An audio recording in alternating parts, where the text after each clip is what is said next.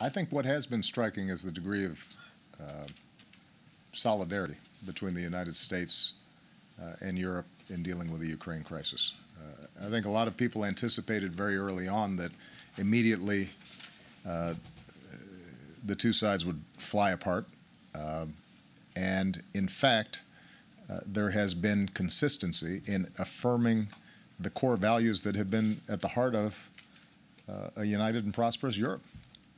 Uh, and, and, that's despite uh, the very real uh, economic consequences that can arise by applying sanctions against Russia.